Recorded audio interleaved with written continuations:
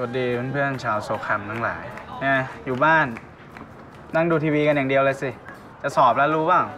แต่ว่าทำไม่ได้ก็ไปนั่งลอกกันอีก โกงกันอีกเป็นไง ประเทศเรา คนโกงยังไม่พอหรอจ๊ะ โกงอะมันไม่ดีนะคอร์รัปชันอะมันดับเท่าไหร่แล้ว น้องรู้หรือเปล่า นี่นี่เพื่อนผมน่ารัก ผมชอบมานานแล้วเนี่ยคนเนี้ยบอกให้ ยังไม่อายเขาอีกเหรอ ยังจะโกงกันอีกเหรอ